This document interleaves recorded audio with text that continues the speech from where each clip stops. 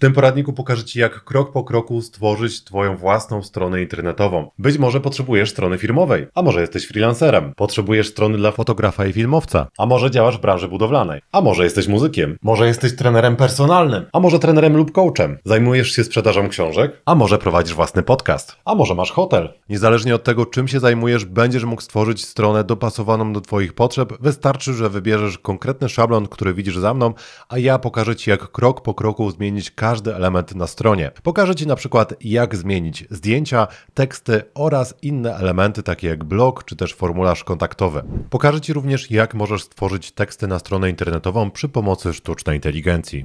Cały proces tworzenia strony, przez który przejdziemy, składa się z pięciu kroków. Pierwszy krok to zakup domeny i hostingu. Drugi krok to instalacja WordPressa. Trzeci to zmiana wyglądu Twojej strony. W czwartym kroku dodamy dodatkowe funkcje oraz usprawnienia Twojej strony. Piąty krok to testy i uruchomienie Twojej strony. W opisie tego filmu znajdziesz najważniejsze linki i materiały dodatkowe, które pomogą Ci w całym procesie. Zapraszam Cię teraz do pierwszego kroku. Pierwszy krok do stworzenia Twojej nowej strony internetowej to zakup domeny i hostingu. Domena to adres Twojej strony, a hosting to miejsce, w którym będą znajdować się wszystkie pliki, zdjęcia i inne elementy, które są potrzebne do działania strony. Osobiście od lat korzystam z polskiej firmy hostingowej lh.pl i tą właśnie firmę polecam moim klientom. Wejdź teraz w link, który znajdziesz w opisie tego filmu i pokażę Ci, jak kupić domenę i hosting. Gdy klikniesz w link w opisie, zostaniesz przekierowany do takiej strony. I tutaj Przed Tobą pokażą się cztery pakiety hostingowe. Jeśli potrzebujesz prostej strony wizytówki, strony firmowej lub prowadzisz bloga, no to wtedy wystarczą Ci te początkowe pakiety, albo pakiet Orange, albo pakiet Kiwi. Myślę, że Kiwi jest optymalnym wyborem, ponieważ mamy od razu 10 GB miejsca na dane, więc możemy również przechowywać tutaj pocztę. Jeśli chcesz stworzyć sklep internetowy lub platformę kursową i będziesz potrzebować większych zasobów, wtedy wybierz te pakiety wyższe, Mango albo Apple. Tutaj mamy jeszcze taki przełącznik. Jeśli klikniesz sobie tutaj, to zobaczysz ceny brutto. Jeśli wybierzesz dany pakiet, no to kliknij sobie Wybieram. Zostaniesz przeniesiony do takiej strony i tutaj możesz dokupić sobie od razu domenę. Wystarczy, że klikniesz sobie tutaj i w tym polu wpiszesz nazwę domeny, którą chciałbyś wykorzystać. Wpisuję sobie moją nazwę domeny, którą chciałbym kupić i klikam przycisk Sprawdź. Jeśli domena jest wolna, będziesz miał komunikat, że domena jest wolna i będzie tutaj zielona informacja. Możemy kliknąć tutaj i dodać ją do koszyka. Jeśli domena będzie zajęta, jeśli na przykład wpisałbym tutaj nazwę mojej prawdziwej strony internetowej, która istnieje, no to mamy informację na czerwono, że domena jest niedostępna i wtedy mógłbym kupić sobie domenę z innym rozszerzeniem, na przykład com.pl albo EU, albo musiałbym wprowadzić tutaj inną propozycję. Ja wybieram domenę Gonet System i przechodzę do kasy. Teraz, żeby skorzystać z kodu rabatowego, kliknij sobie tutaj i wprowadź kod rabatowy, który znajdziesz w opisie o nazwie netgonet, a następnie kliknij dodaj. I możesz teraz kliknąć przycisk zamawiam. Teraz kliknij rejestracja w 15 sekund i wybierz, czy chcesz założyć konto na firmę, czy na osobę fizyczną. Możesz przełączyć się między tymi opcjami tutaj. Jeśli masz firmę, możesz podać Twój NIP, a system automatycznie pobierze dane z CIDG. Ja zakładam to konto na osobę fizyczną, więc wpiszę sobie tutaj wszystkie dane. W tym polu musisz wpisać identyfikator klienta, czyli wymyśleć nazwę, którą będziesz logował się do systemu LH i następnie wpisać hasło. Możesz wygenerować je automatycznie, kliknij sobie tutaj, kliknij na oko i teraz skopiuj sobie to hasło i zapisz w bezpiecznym miejscu, żebyś mógł zalogować się potem do systemu. Musisz wpisać Twój numer telefonu, adres e-mail, wyrazić zgodę i kliknąć rejestruj konto. Jeśli wprowadziłeś wszystkie dane prawidłowo, no to zostaniesz przeniesiony do takiej strony, gdzie możesz kliknąć zamawiam i teraz wybrać metodę płatności. Najlepiej zapłacić online, bo wtedy transakcja przebiegnie szybciej i Twoje konto zostanie aktywowane od ręki. Klikam zapłać online i teraz muszę zalogować się kodem, który został wysłany na mojego maila. Wprowadzam kod i klikam przycisk potwierdź kod. Jeśli go nie otrzymałeś, no to możesz kliknąć wygeneruj nowy kod lub poszukać wiadomości w spamie. Klikam potwierdź kod. Zostanę przeniesiony do mojego panelu, w którym mogę opłacić fakturę, klikając sobie tutaj opłać fakturę. Następnie wybierz metodę płatności, ja wybieram blika i klikam opłać zaznaczone.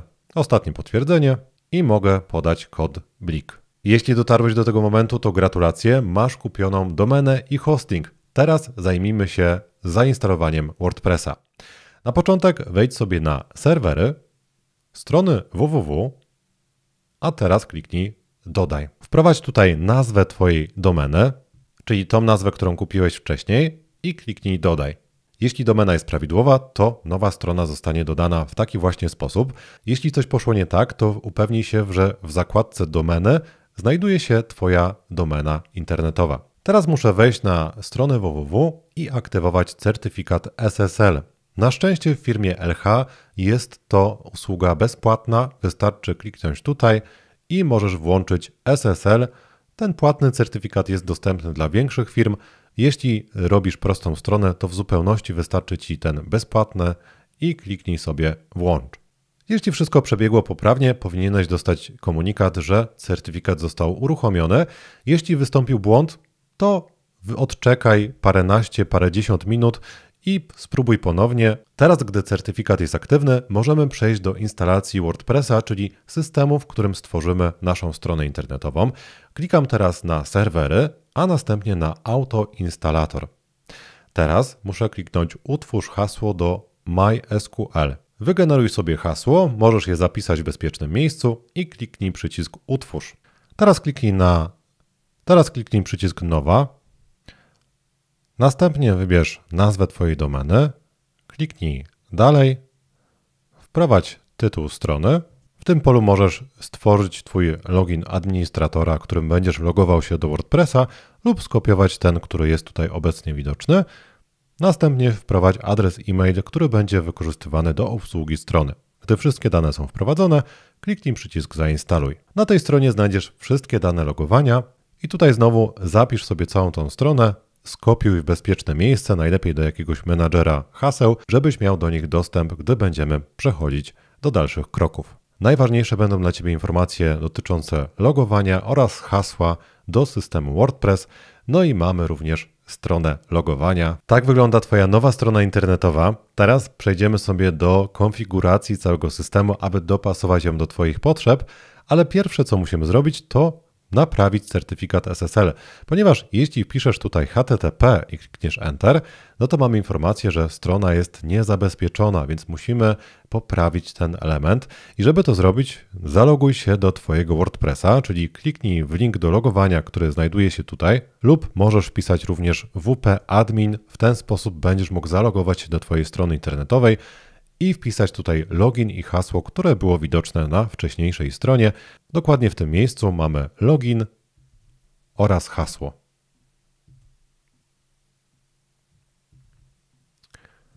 Teraz zaloguj się do WordPressa. Teraz zostaniesz przekierowany do Twojego panelu administracyjnego WordPress, w którym będziesz mógł wykonywać wszystkie niezbędne operacje do stworzenia strony internetowej. Po zobaczeniu tego poradnika nie będzie miał przed Tobą tajemnic, więc na początek omówię Ci pokrótce, co się tutaj znajduje. W zakładce Cockpit mamy aktualizację i ogólny przegląd informacji ze strony. We wpisach możemy tworzyć wpisy blogowe, czyli takie elementy, które będą widoczne na naszym blogu. Mamy tutaj pierwszy przykładowy wpis, i go trzeba usunąć, żeby nam nie zaśmiecał. Gdy usuwamy dany wpis, to musimy go również usunąć z kosza, wtedy zniknie na zawsze z naszej strony. Tutaj mamy również kategorie i tagi i możemy sobie tworzyć nasze wpisy. Następnie mamy zakładkę media, w której możemy przesyłać różne zdjęcia i elementy. Mamy strony, komentarze. Tutaj można zarządzać komentarzami, które są na naszym blogu. I mamy tutaj jeszcze wygląd, wtyczki i użytkowników, ale my przejdziemy sobie do ustawień i w tym miejscu musimy zmienić kilka rzeczy. W ustawieniach ogólnych musimy wpisać sobie przy adresie WordPress literkę S. To samo robimy przy adresie witryny i ma to związek z poprawnym działaniem certyfikatu SSL i do tego zaraz wrócimy. Następnie klikamy Zapisz zmiany. Teraz przejdź do zakładki Bezpośrednie odnośniki i w tym miejscu wybierz nazwa wpisu. W ten sposób każda nowa strona, którą stworzysz, będzie miała automatycznie adres, który będzie zawierał jej nazwę. Czyli jeśli stworzysz stronę na przykład oferta, to Twój adres będzie następujący gonetsystem.pl oferta. Jeśli stworzysz podstronę kontakt, no to wtedy będzie gonetsystem.pl ukośnik kontakt. Zapisuję zmiany. Teraz musimy dokończyć wdrożenie certyfikatu SSL na Twoją stronę i żeby to zrobić, wejdź sobie na wtyczki. Wtyczki to oprogramowanie, które dodaje nowe możliwości do Twojej strony. Mamy tutaj zainstalowane dwie wtyczki, których nie potrzebujemy, więc klikam sobie tutaj, masowe działanie i usuń. Usuwamy te wtyczki ze strony, żeby nam po prostu tutaj nie zaśmiecały. Następnie klikam dodaj wtyczkę, wpisz tutaj nazwę HT Access File Editor i kliknij tutaj zainstaluj, a następnie uruchom to rozwiązanie. Teraz wejdź na wtyczki, zainstalowane wtyczki i kliknij Edit HT Access File. Przechodzę niżej, klikam, że rozumiem i tutaj muszę dopisać taki tekst. Kopiuję go z mojej strony internetowej netgonet. Znajdziesz go również w opisie tego filmu. U góry klikam Enter i wklejam taki tekst, a następnie zapisuję zmiany. Jeśli wszystko przebiegło poprawnie, no to możemy wyjść z tej wtyczki i sprawdźmy, czy certyfikat działa prawidłowo. Wchodzę na moją stronę, klikam sobie tutaj i wpisuję adres rozpoczynający się od HTTP. Teraz klikam Enter. Jeśli nie wyskoczy tutaj komunikat o tym, że strona jest niebezpieczna, zagrożona, różne komunikaty są wyświetlane w różnych przeglądarkach, wtedy możemy uznać, że nasz certyfikat jest wdrożony prawidłowo. Jeśli masz jakieś wątpliwości dotyczące tego tematu, to napisz mi oczywiście komentarz. Teraz wracam sobie tutaj, klikam na wtyczki, wyłącz wtyczkę i usuń. Możemy ją spokojnie usunąć. Gdy wtyczka jest usunięta, możemy przejść do kolejnego kroku. Trzeci, moim zdaniem, najprzyjemniejszy krok to zmiana wyglądu Twojej strony. Pokażę Ci w nim, jak zainstalować motyw oraz zmienić wygląd poszczególnych elementów na stronie. Na początek wejdź sobie w zakładkę Wygląd, a następnie wejdź w motywy. Motyw w dużej mierze będzie decydował o wyglądzie Twojej strony internetowej. Na stronie WordPress możesz mieć aktywny w danym momencie tylko jeden motyw. No i ten jest aktualnie aktywny domyślnie. Te dwa możemy sobie usunąć, czyli klikam sobie tutaj i klikam przycisk usuń. Wtedy będę miał większy porządek na stronie, nie będę miał tutaj zbędnych elementów, ale nie wykorzystamy tego domyślnego motywu, zainstalujemy motyw Astra. Żeby to zrobić, kliknij sobie tutaj na dodaj nowy motyw, następnie wpisz tutaj Astra. Motyw Astra wygląda w ten właśnie sposób, kliknij sobie zainstaluj, a następnie taki motyw trzeba jeszcze uruchomić, klikając przycisk włącz. Motyw Astra został zainstalowany i tutaj mamy od razu reklamę wtyczki, dzięki której będziemy mogli instalować szablony. Ale gdyby ta reklama się wyłączyła, to ja pokażę Ci, jak ją zainstalować ręcznie. Możesz zrobić to w taki sposób, że wejdziesz na wtyczki, dodaj wtyczkę, następnie w prawym górnym rogu wpisz takie hasło Astra Starter Templates i zainstaluj pierwszą wtyczkę. Ma ponad milion aktywnych instalacji. Klikam zainstaluj i uruchamiam to rozwiązanie. Teraz będziesz musiał wybrać, czy wybierasz klasyczne szablony, czy szablony generowane przy pomocy AI. Ja proponuję na ten moment wybierać jednak te klasyczne rozwiązania, ponieważ to działa znacznie stabilniej. Teraz wybierasz sobie tak zwany Page Builder, czyli narzędzie, które pozwala na edytowanie stron w prosty sposób. W tym poradniku pokażę Ci, jak tworzyć strony przy pomocy Elementora, czyli jednego z najpopularniejszych na świecie page builderów. Teraz masz możliwość przeszukania sobie bazy szablonów i tutaj znajdują się szablony bezpłatne i płatne. Te płatne mają oznaczenie premium i jeśli nie masz motywu Pro, no to ich nie wykorzystasz. Jeśli chciałbyś kupić sobie motyw Astra Pro, no to link znajdziesz w opisie tego filmu. W poradniku będziemy korzystać z bezpłatnej wersji. Możesz filtrować te szablony po kategoriach, na przykład wybrać sobie kategorię biznes, no i mamy tutaj różne strony biznesowe, na przykład taką i po kliknięciu będziesz mógł przeglądać cały ten szablon, zobaczyć jak wyglądają poszczególne podstrony i zdecydować, czy ten szablon jest dla Ciebie. Jeśli okaże się, że nie, no to wystarczy, że klikniesz krzyżyk i możesz przejść do kolejnego szablonu i zobaczyć, czy ten szablon będzie Ci odpowiadał, na przykład taki. Mamy tutaj kolejne zakładki, kolejne podstrony, no i możesz sobie zobaczyć, jak to wszystko wygląda w podglądzie na żywo. Tym poradniku pokażę Ci jeden konkretny szablon, ale Ty możesz wybrać dowolny z tych dostępnych i dopasować go do swoich potrzeb według tego, co Ci pokażę krok po kroku. Klikam na wybrany szablon, następnie mogę przesłać od razu logo, ale to sobie na razie pominiemy. Klikam Continue. Tutaj możesz wybrać kolorystykę tej strony, czyli od razu będziesz miał tutaj domyślną paletę kolorów, którą możesz wykorzystać. Mnie ten kolor niebieski podoba się najbardziej, więc zostawię sobie domyślne kolory. Możesz sobie również wybrać fonty dla tej strony, klikając sobie tutaj. Potem można oczywiście to zmienić, ale myślę, że warto od razu wybrać takie, które będą Ci odpowiadać najbardziej. I klikamy Continue. Teraz nastąpi proces importowania tego szablonu na Twoją stronę, do Twojego hostingu. Tutaj wystarczy, że odznaczysz sobie ten ostatni checkbox i klikniesz przycisk.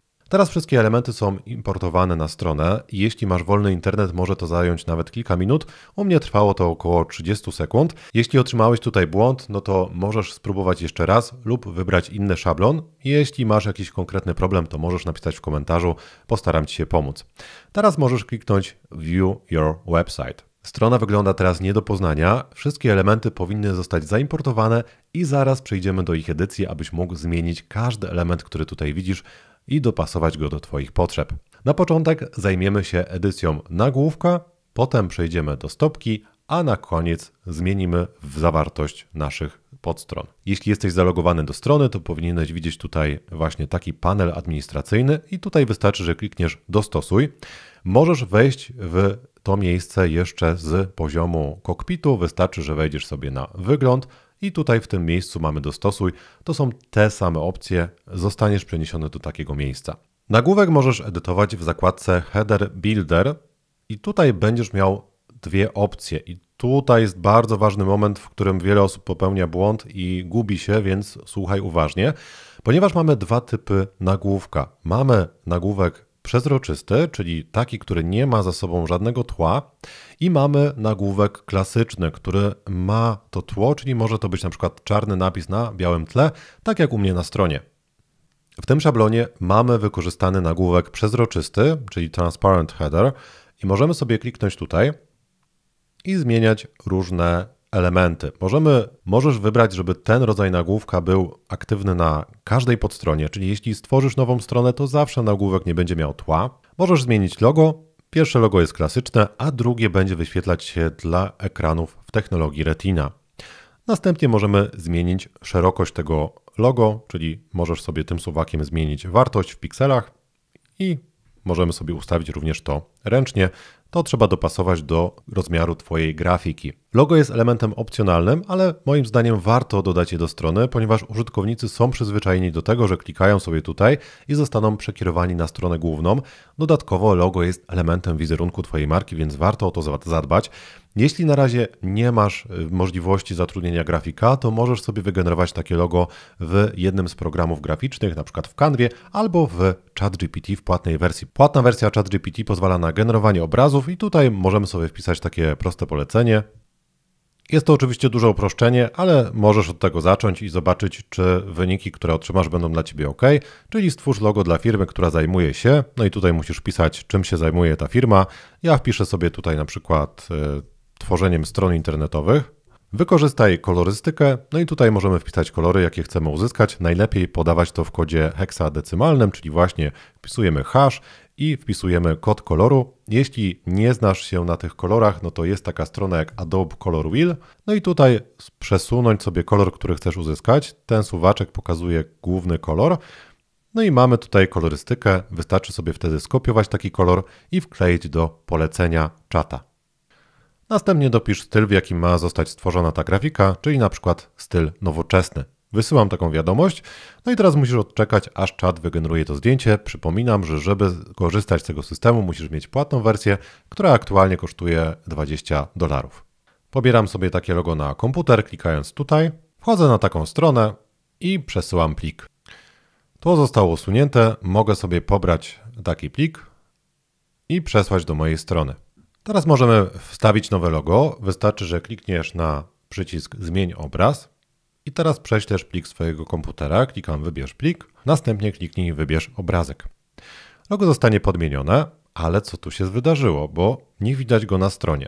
Wynika to z tego, że drugie logo nie jest podmienione. No i tutaj mógłbyś zmienić ten obrazek i przesłać dwa razy większy niż ten, albo możesz sobie dezaktywować tą opcję, no i wtedy to logo zostanie podmienione. Ja zostawię sobie to logo, ponieważ na tej stronie wygląda ono zdecydowanie lepiej. Logo poziome będzie tutaj lepiej komponować się z resztą strony. Jeśli będziesz robił własną stronę, to musisz je oczywiście podmienić. Teraz możemy przejść sobie do poszczególnych elementów, które mamy tutaj do edycji. W zakładce Design mamy bardzo dużo opcji kolorystycznych i w tym miejscu możemy sobie pozmieniać kolory każdego z tych elementów. Możesz na przykład zmienić kolor tekstu, który znajduje się w tym miejscu. Możesz zmienić kolor przycisku. Mamy tutaj domyślne kolory przycisku i tutaj możemy na przykład ustawić sobie, żeby to był taki kolor bardziej granatowy.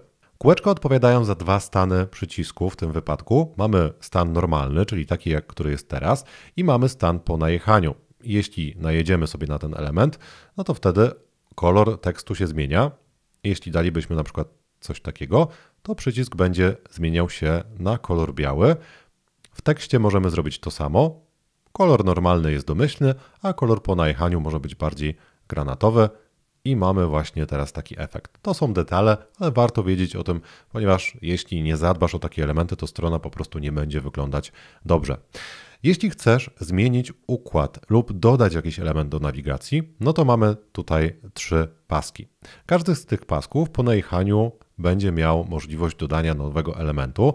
Mamy tutaj plusiki i możemy dodać tutaj nowy element, na przykład linki do mediów społecznościowych.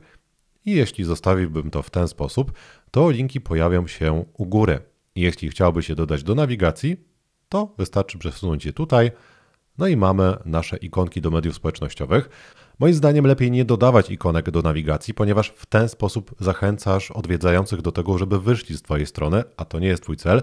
Jednak jeśli z jakichś przyczyn będziesz chciał dodać tutaj jakieś ikonki, no to możesz właśnie zrobić to w ten sposób. I mamy opcję social. Jeśli kliknę sobie tutaj, zostanę przeniesiony do nowych opcji i w tym miejscu mogę dodawać różne linki, na przykład telefon co jest również dobrą opcją. Mogę sobie dodać telefon, klikam Add Social Icon i w tym miejscu mogę wpisać mój numer telefonu, który będzie automatycznie wybierany, jeśli ktoś kliknie w tą ikonkę. Jeśli chcesz ukryć lub usunąć jakiś element, no to wystarczy, że klikniesz sobie tutaj i dana ikonka zniknie. W zakładce Design możesz zmienić kolorystykę tych elementów, czyli na przykład wybrać, żeby te ikonki były białe, a po najechaniu zmieniały się na kolor granatowy. Ten sposób będzie to wyglądało, jeśli chciałbyś taki element zostawić. Ja go nie chcę, więc klikam sobie tutaj na usuń. Następnie mamy elementy nawigacyjne. Jeśli klikniesz sobie tutaj, no to możesz zmienić szerokość tych elementów, możesz zmienić wszystkie ustawienia dotyczące stylistyki czy też kolorystyki tych linków. Ja zostawię to domyślnie, bo myślę, że jest to całkiem niezłe. Ważny element to kolejność i to, co znajduje się w nawigacji, ale do tego przejdziemy nieco później. Ostatni element to przycisk. Klikam sobie tutaj, no i w tym miejscu mogę wpisać tekst, czyli na przykład kontakt. Możemy wpisać tutaj link do strony, na którą klient ma zostać przekierowany. W przypadku tej strony testowej tak wygląda strona kontaktu i mogę tutaj wybrać, czy ta strona ma pojawić się w nowej zakładce przeglądarki, czy też nie. Tak wyglądają podstawowe ustawienia. Jeśli chciałbyś zmienić rozmiar tego przycisku, no to mamy tutaj opcję spacing i padding i w tym miejscu określamy jak ma wyglądać ten przycisk, czyli jak mają być duże odstępy pomiędzy tymi elementami. Mamy do dyspozycji cztery zakładki i każda z tych Mamy do dyspozycji cztery wartości i możemy edytować każdą z nich, żeby dopasować wygląd przycisku do swoich potrzeb. Jeśli chcesz na przykład pogrubić ten napis, to wchodzisz sobie na fonty, i tutaj mamy font white i wybieramy sobie na przykład 700. Wtedy ten przycisk będzie pogrubiony. Ja zostawiam sobie na domyślną wartość. Jeśli chciałbyś zmienić kolejność tych elementów, to wystarczy, że przeciągniesz sobie tutaj właśnie nawigację na środek. Przycisk może być również w innym miejscu. Możesz również dodawać te elementy w osobnych wierszach. Dzięki temu możesz stworzyć w pełni funkcjonalną nawigację. Po wprowadzeniu zmian kliknij przycisk Opublikuj, żeby wszystko co zrobiłeś zostało prawidłowo zapisane. Teraz pokażę Ci przykład, gdy czytasz szablon, który ma nagłówek nieprzezroczysty. Wczytałem sobie inny szablon, tym razem nagłówek posiada białe tło, no i niestety pewne rzeczy się pozmieniały. Musimy je naprawić. Wchodzę w Dostosuj. Przede wszystkim moje logo jest niewidoczne, no bo mamy białe tło, a logo również jest białe, więc muszę wejść sobie na Header Builder, na Site Title and Logo. I tutaj zmieniam logo mojej strony na logo, które ma jakiś kolor. Wybieram sobie grafikę z kolorem, następnie wracam do Header Buildera, no i tutaj mogę zmienić nasze elementy, czyli na przykład sprawić, żeby właśnie nasz przycisk po najechaniu nie był biały, tylko żeby miał kolor, na przykład możemy wybrać, żeby był ciemniejszy, no i w tym wypadku musimy zmienić również kolor tekstu, czyli będzie to wyglądało w ten sposób. To samo dotyczy nawigacji, możemy sobie kliknąć na Primary Menu, Design i w tym miejscu możemy zmienić na przykład kolor tekstu w linkach lub kolor tła. Załóżmy, że chcę zmienić kolor na czarny, mogę sobie również wykorzystać ten suwak, a po najechaniu niech ten link będzie granatowy. Mamy właśnie taki efekt. W przypadku przycisków mamy jeszcze trzecią opcję Active, czyli jest to kolor aktywnego linku. Jeśli klient byłby na przykład teraz na stronie About, no to ten link będzie w kolorze czerwonym. Możemy zmienić tutaj również fonty, które będą znajdować się w nawigacji. Możemy je pogrubić. No i takie opcje można sobie zapisać. Wracamy teraz do naszej strony głównej i przechodzimy do stopki. Teraz przechodzę na sam dół strony i zajmiemy się zmianą wyglądu naszej stopki. Ustawienia stopki znajdziesz w zakładce Footer Builder i tutaj znajdziesz tak zwane widgety, które można w dowolny sposób edytować. Wystarczy, że klikniesz sobie tutaj na przykład i mamy logo oraz tekst. To logo jest niewidoczne, ponieważ jest w formie białego zdjęcia, ale zostało tutaj wklejone w taki sposób, że wystarczy kliknąć na dodaj media, no i na przykład wybiorę sobie to czarne i wtedy po odświeżeniu takie zdjęcie się pojawi. Jeśli nie chcesz tego elementu, to możesz po prostu to usunąć, zaznaczając to lewym przyciskiem myszy i przy, klikając przycisk Delete albo Backspace i wtedy to zniknie. Każdy z tych elementów możesz usunąć klikając sobie tutaj na krzyżyk. Jeśli chciałbyś zmieniać ustawienia tych elementów i dopasować je do Twoich potrzeb, to wystarczy, że klikniesz sobie w dany element i tutaj znajdziesz wszystkie ustawienia. Mamy ustawienia ogólne, w których znajdują się takie elementy jak dodanie linku, czy też dodanie kolejnej ikonki społecznościowej, no i zakładkę Design, w której możemy sobie już ustawiać opcje stylistyczne, które wyglądają wszędzie bardzo podobnie. Mamy kuleczki, w których ustalamy sobie kolory, mamy rozmiary, no i elementy, które służą do pozycjonowania danego rozwiązania. Jeśli chcesz coś dodać do stopki, to wystarczy, że klikniesz sobie na plusik, no i tutaj będziesz mógł dodać dostępne elementy. Ja usunę sobie wszystkie te zbędne funkcje i zostawiam coś takiego, copyright, kurs WordPress, no i tutaj mamy automatycznie pobrany rok i tutaj stworzone przez netgonet.pl sobie dopiszę i możemy dodać tutaj jeszcze link do polityki prywatności. Tym zajmiemy się na samym końcu tego filmu. Pamiętaj, żeby usunąć zbędne entery, ponieważ jeśli dodasz tutaj enter, no to tekst zostanie przeniesiony do nowej linii. Jeśli chciałbyś dodać tutaj jeszcze ikonki mediów społecznościowych, no to możesz kliknąć sobie tutaj w koło zębate, wybrać dwie kolumny, wybrać układ w taki sposób i teraz klikamy plusik, social i mamy nasze media. Możemy sobie również ustawić szerokość tego elementu. Myślę, że wygląda to ok. No i tutaj usuwasz te media, których nie potrzebujesz i w ten sposób możesz stworzyć sobie swoją stopkę. Gdy stopka jest gotowa, klikam opublikuj. Kolejny ważny element, który możesz zmienić w ustawieniach to ta ikonka. Ta ikona wyświetla się, gdy ktoś otwiera Twoją stronę w przeglądarce. Warto, żeby była podmieniona, ponieważ będzie to wyglądało profesjonalnie. Żeby to zrobić, żeby ją zmienić, wejdź sobie w Site Identity i wybierz tutaj ikonę z Twojej biblioteki mediów lub prześlij z Twojego komputera. Taka ikonka powinna być kwadratowa. Możesz właśnie albo ją przygotować w programie graficznym, albo przyciąć jakiś obrazek. Mógłbym również wybrać na przykład moje logo. Teraz przyciąć dany fragment, przytnij obrazek, no i taka grafika również by się zmieniła, no ale w tym wypadku trzeba by jeszcze dodać białe tło, żeby była widoczna. Jeśli stwierdzisz, że chciałbyś zmienić globalne kolory na stronie, czyli zmienić te kolory, które są domyślnie ustawione, możesz wejść sobie na globalne ustawienia i w tym miejscu mamy właśnie wiele ustawień dotyczących naszej typografii, kolorów i innych elementów. Wystarczy, że wejdziesz sobie na przykład na kolory, no i tutaj możesz zmienić domyślne palety barw. Możesz również zmienić sobie te kolory ręcznie. Wystarczy, że klikniesz sobie w dane kółeczko, no i tutaj możesz wpisać albo kod koloru, albo przeciągnąć tutaj ten element i zmienić kolor na inny. To samo dotyczy się akcentów, linków, nagłówków i innych elementów. W tym miejscu ustalasz globalne kolory. Jest to bardzo dobra praktyka, ponieważ wtedy nie będziesz musiał edytować każdego koloru osobno, tylko powinny te kolory zmieniać się automatycznie. Jeśli jakiś element nie zmienia swojego koloru, to później pokażę Ci, jak to zrobić ręcznie. To samo dotyczy typografii. Możemy zmienić domyślne ustawienia typograficzne.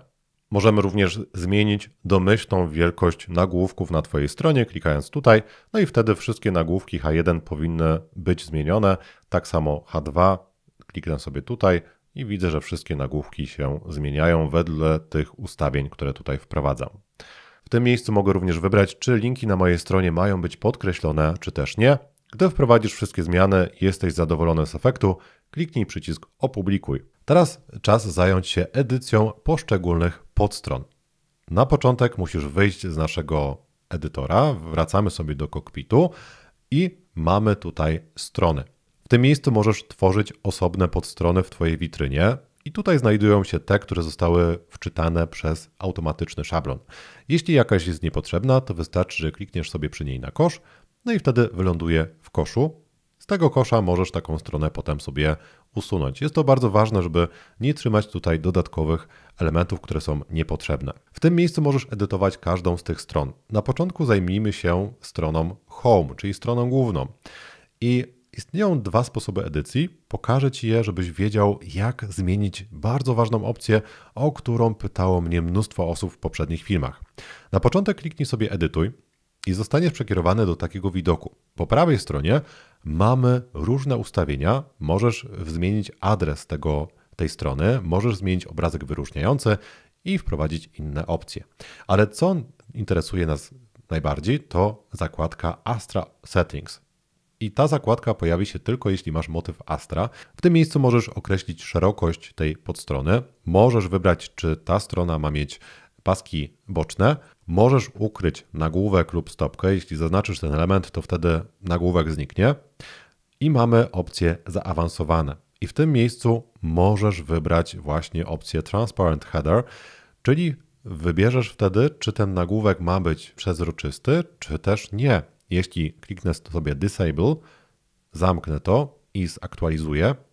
Następnie kliknę tutaj, to teraz mój nagłówek jest taki, jak pokazywałem Ci wcześniej, czyli ma biały pasek, a pod spodem znajduje się treść. Jeśli wejdę w edycję strony ponownie, wejdę sobie na Astrę, zaawansowane opcje i wybiorę sobie Enable, to wtedy mój nagłówek będzie wyglądał właśnie w ten sposób. I w ten sposób możesz decydować, czy ten nagłówek ma być przezroczysty, czy nieprzezroczysty. Żeby edytować wygląd naszej strony, wchodzę sobie na Edytuj w Elementorze.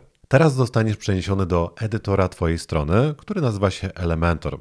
Dzięki niemu możesz zmienić dowolny element na tej stronie i dopasować ją do Twoich potrzeb. Elementor korzysta z różnych bloków, które dają możliwość dodania tutaj i rozszerzenia tych treści. Możemy tworzyć teksty, nagłówki, obrazy, przyciski, dodać film. Te elementy z kółdeczką są zarezerwowane dla płatnej wersji i o tym mam osobny poradnik, jeśli byłbyś nimi zainteresowany. W tym poradniku będziemy korzystać z bezpłatnej wersji, więc to mogę sobie schować. I teraz widzę tylko te elementy, do których mam dostęp, czyli wszystkie bezpłatne i one w większości przypadków wystarczają do stworzenia w pełni funkcjonalnej strony. Jak zatem zmieniać teksty na stronie? Każdy z tych tekstów działa w bardzo podobny sposób. Klikam w niego, mam pole do wpisania tekstu, usuwam zawartość, klejam sobie tutaj przykładowy tekst, i taki tekst mogę edytować podobnie jak w Wordzie, czyli na przykład mogę sobie pogrubić dany element, mogę użyć kursywy, mogę go podkreślić, czyli mamy taki klasyczny edytor, y, tak jak właśnie Word czy też inne edytory. Mamy tutaj opcję rozwinięcia i w tym miejscu możemy również zmieniać pozostałe elementy.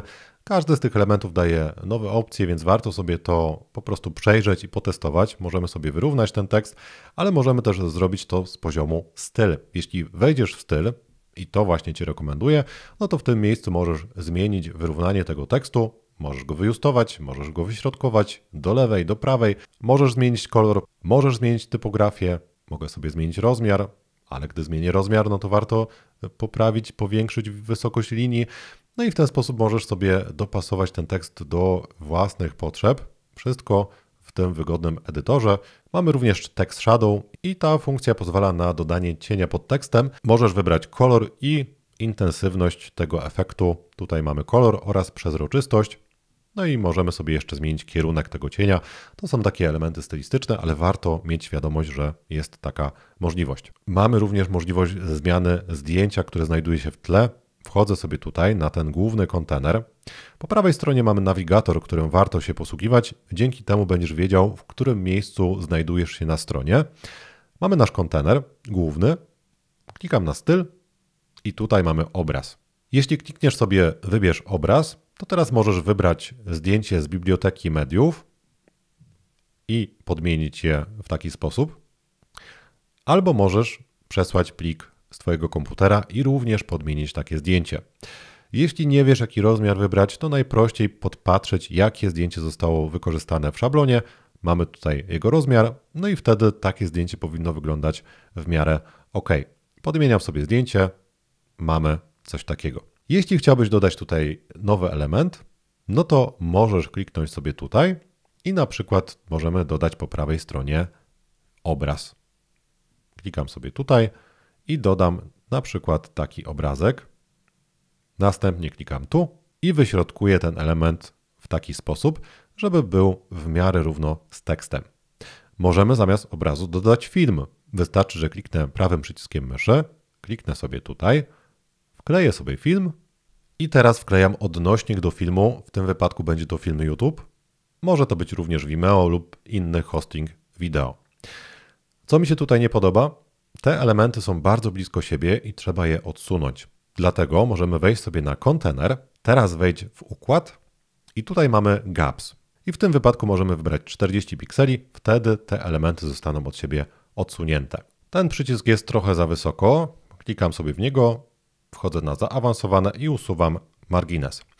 Jeśli chcesz zmniejszyć wysokość tego elementu, to kliknij sobie na kontener i tutaj mamy minimalną wysokość. Możemy ustawić ten kontener na przykład na 80%, ale pamiętaj, że w tym układzie strony, który wybrałem, muszę jeszcze zostawić miejsce na nawigację, więc to też jest ważny element. Przejdźmy do kolejnego elementu na stronie. Mamy tutaj nagłówek, mamy tekst oraz ikonkę z tekstem. Klikam sobie lewym przyciskiem myszy i mogę sobie zmienić taką ikonkę na inną, na przykład na oko. Mogę zmienić tytuł oraz opis tego elementu, czyli po prostu wpisuję tutaj nowy tekst. I tak mogę zrobić z każdym elementem. Jeśli chcę zmienić kolory lub jakieś właśnie elementy stylistyczne, no to wchodzę w zakładkę styl, no i tutaj mogę zmienić ułożenie tej ikonki, mogę zmienić kolor ikony i dopasować ją do swoich potrzeb. Jeśli na przykład nie masz tutaj sześciu elementów, to możesz w prosty sposób je usunąć. Wystarczy, że klikniesz sobie tu i klikam usuń. Wtedy te elementy zostaną usunięte, a jeśli chcesz dodać kolejny element, to klikasz prawym przyciskiem myszy i klikasz przycisk powiel. Wtedy będziesz miał cztery elementy oferty. Możemy sobie dodać tutaj jeszcze na przykład jakiś przycisk. Dodaję sobie przycisk i przy każdym z tych elementów mogę dodać nowy przycisk. Klikam kopiuj i wklej, i wklej, i wklej. Mamy cztery przyciski. W takim układzie występuje jeden bardzo częsty problem. Jeśli dana sekcja ma krótszy tekst, no to przycisk automatycznie jest umieszczany w innej pozycji w stosunku do reszty tych elementów. Czyli mamy właśnie taki zygzak, który nie wygląda zbyt dobrze. Takich sytuacji należy unikać i można to naprawić w prosty sposób. Wystarczy, że klikniesz sobie tutaj, następnie w zaawansowane i w rozmiarze wybierzesz Grow. Wtedy przycisk będzie znajdował się na samym dole tego kontenera. Tutaj możemy zrobić tak samo i mamy równe przyciski. W idealnym scenariuszu najlepiej sprawić, żeby te teksty miały zbliżoną ilość słów. Następnie mamy sekcję z portfolio i tutaj są po prostu dodane cztery bloki, które zawierają zdjęcia. I jeśli chciałbyś stworzyć sobie tutaj galerię, no to możesz kliknąć tutaj, wpisać sobie galeria i mamy galeria podstawowa. Przerzucam sobie to niżej, następnie klikam na plusik i wybieram jakieś zdjęcia z biblioteki lub możesz przesłać je również z Twojego komputera. Klikam utwórz i wstaw. Ta galeria nie wygląda zbyt dobrze, ponieważ musimy tutaj jeszcze zmienić kilka rzeczy. Przede wszystkim trzeba zmienić rozmiar tych zdjęć oraz ilość kolumn. Możemy sobie zmienić kolumny na takie, które będą nam odpowiadać. W tej bezpłatnej wersji najlepiej dodawać zdjęcia tej samej wielkości, dzięki temu będzie to wyglądać dobrze.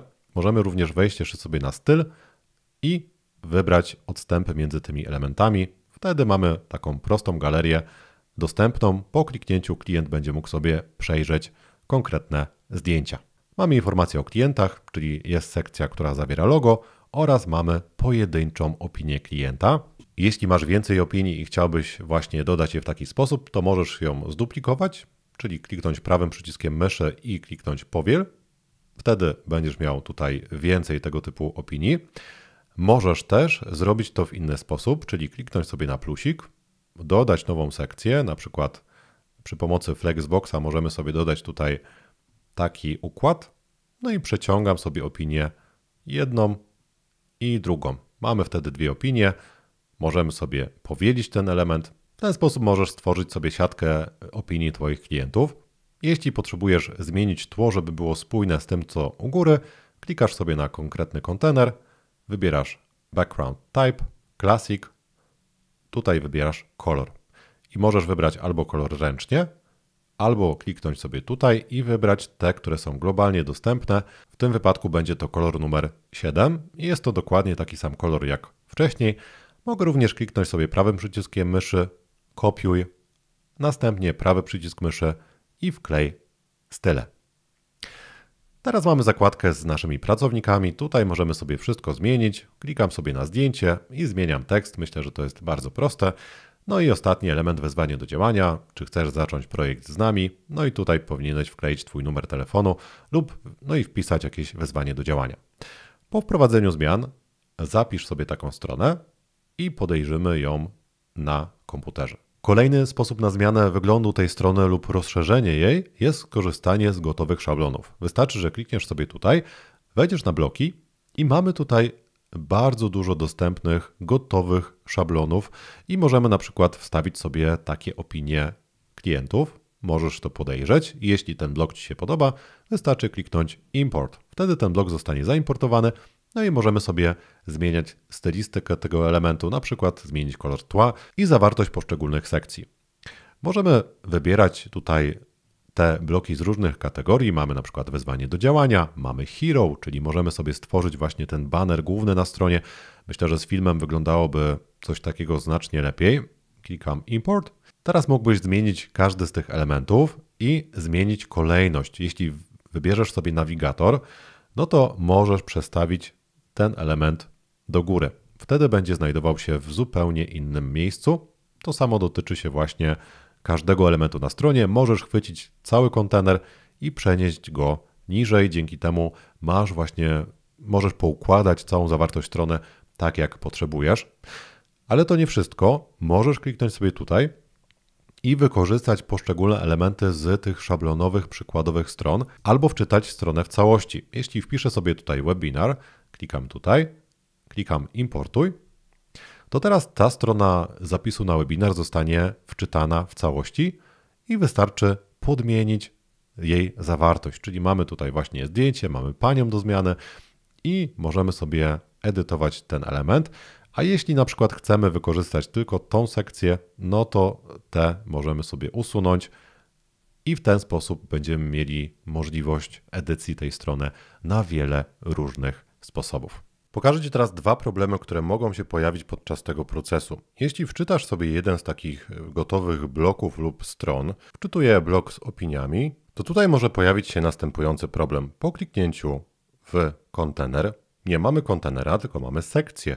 Jeśli wejdę w nawigator, to tutaj również jest sekcja i są kolumny. Jest to stary sposób na tworzenie stron przy pomocy Elementora i on jest już nieprawidłowy, trzeba go zmienić. Strona będzie nadal działać, ale są tutaj zupełnie inne ustawienia, no i ten system działa trochę inaczej, dlatego najlepiej mieć już wszystko w kontenerach. Żeby zmienić tą sekcję na kontener, wystarczy, że klikniesz sobie tutaj, następnie klikniesz tutaj przy układzie konwertuj do kontenera, klikam tutaj i co się wydarzy? Cała ta sekcja zostanie zduplikowana i pojawi się na dole właśnie w takiej formie. I teraz Twoje zadanie polega na tym, żeby usunąć tą starą sekcję i wykorzystać już te kontenery. Niestety czasami zdarzają się takie błędy, że no te zdjęcia będą na przykład innej wielkości, no i trzeba sobie to poprawić ręcznie. Pokażę Ci jak edytować te ustawienia w dalszej części poradnika. Zazwyczaj trzeba po prostu zmienić szerokość poszczególnych elementów i wszystko powinno być w porządku. Czasami zdarza się również, że w zakładce zaawansowane są jakieś dodatkowe marginesy, które zmieniają cały układ. Takie coś może Ci się zdarzyć, ale nie musi, dlatego pokazuję Ci to na wszelki wypadek. Drugi problem, który możesz napotkać, jeśli masz już stronę od jakiegoś czasu lub Twój WordPress był zainstalowany dawniej, wtedy możesz nie mieć w ogóle opcji kontener. Co należy zrobić w takim wypadku? Przejść do Twojego kokpitu, możesz zrobić to w ten sposób, że klikasz tutaj, klikasz wyjście, opuszczam stronę. Teraz wejdź w ustawienia Elementora, a następnie wybierz właściwości. I tutaj znajdują się wszystkie dodatkowe ustawienia Elementora, które możesz sobie właśnie uruchomić lub wyłączyć. I w tym miejscu mamy funkcję, która jest odpowiedzialna za kontenery, Flexbox Container. Musisz tutaj włączyć tą funkcję, a następnie zapisać zmiany, wtedy kontenery będą widoczne. Pokazałem Ci, w jaki sposób możesz zmieniać elementy na wybranych podstronach, ale najważniejsze, o czym musisz pamiętać, to to, że każda strona, którą tworzysz, musi mieć konkretny cel. Jeśli tworzysz zakładkę usługi, to taka strona powinna zaprezentować usługi Twojemu klientowi, pokazać ich korzyści i zachęcić go do podjęcia działania, czyli do kontaktu z Twoją firmą w jakikolwiek sposób, czy to przez formularz, czy przez telefon. I każda z tych podstron ma określony cel. Zakładka o nas, budujemy nasz autorytet, pokazujemy, że pomagamy klientom takim jak nasz odwiedzający, pokazujemy proces, a następnie zachęcamy go do kontaktu, w którym pomożemy mu rozwiązać jego problem. I w ten sposób staraj się myśleć o podstronach. Każda strona ma jeden określony cel, do którego zmierza. Gdy masz już określony cel Twojej strony, wiesz do kogo jest kierowana Twoja strona, Twój biznes, no to możesz przejść do tworzenia tekstów oraz grafik, które będą korespondować z tekstem, które będą wzmacniać przekaz. Jak do tego podejść? Jeśli nie masz zdolności copywriterskich lub dopiero zaczynasz, to najlepiej wykorzystać do tego celu sztuczną inteligencję. Przygotowałem dla Ciebie zestaw gotowych poleceń, które możesz wprowadzić do ChatGPT lub podobnych narzędzi, które pomogą Ci w wygenerowaniu tekstu na stronę. Na przykład mamy tutaj polecenie do stworzenia nagłówka, kopiuję sobie je z bazy, wklejam w tym miejscu, no i mamy proste polecenie: stwórz 10 przykładów angażujących nagłówków głównych na stronę lądowania dla Tutaj wpisujesz opis Twojego produktu lub usługi, no i opisujesz główną wartość, jaką ten produkt dostarcza klientom. Uzupełniłem polecenie i czat wygenerował mi 10 propozycji nagłówków. Oczywiście jest to bardzo uproszczone polecenie, możesz je rozbudować o więcej szczegółów.